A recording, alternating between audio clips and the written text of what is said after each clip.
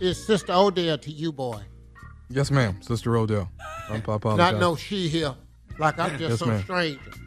I'm Yes, grown, too old and grown to be Odell, referred to as a sheep. Please be I'm gentle. older she. You know, Excuse me. something's. You know, Tommy has had surgery on his throat. That so is right. just- The yeah. Lord has healed him. Though. Yes, yes, ma'am. He So has. see, once the God, once the God of Abraham heals you, Yes, you ma'am. get to move on. yes, mm-hmm. ma'am. Yes, we're gonna keep making six reference to He- him if he's, he's, healed. he's still recovering. He don't get to be sick permanently. That's Junior.